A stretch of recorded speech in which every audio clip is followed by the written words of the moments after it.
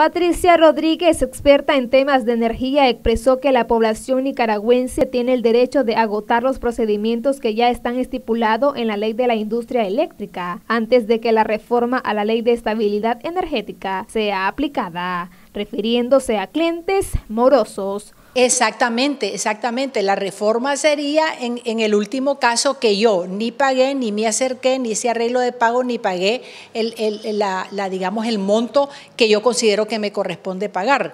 Entonces, hasta en ese momento, si ya me quedo este, sin pagar, Oye, también la distribuidora tendría que cortarme el servicio y yo ya sin servicio eléctrico, yo ya, veo si me quedo sin el servicio eléctrico o algunas personas querrán conectarse ilegalmente y hasta en ese momento es que tendrían que ir a, cobro judicial, que se le llama. Pero definitivamente los pasos para, para, para este... Antes de entrar en mora ya están dados en la ley de la industria eléctrica y no es necesario este artículo. De hecho, yo quisiera agregar también que los valores de la mora que da la distribuidora, pues se habla de 350 millones que representa la mitad de la mora, es decir, el total serían 700 millones. Esos son en términos porcentuales 3,5%.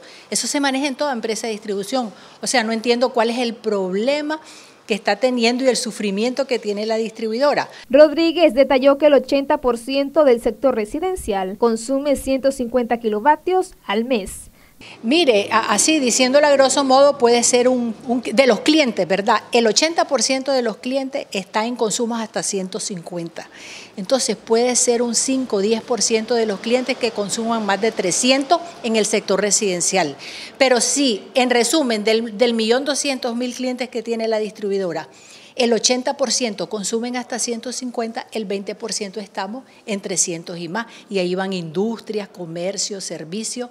Y, eso es absurdo decir que la distribuidora está teniendo problemas de flujo de caja por una mora que, como le digo, si fuese el 3,5% es una mora manejable y, y, no reflejaría preocupación. La reforma a la ley 554 consiste en que los usuarios que consumen más de 300 kilovatios horas al mes y estén en mora, enfrentarán procesos judiciales.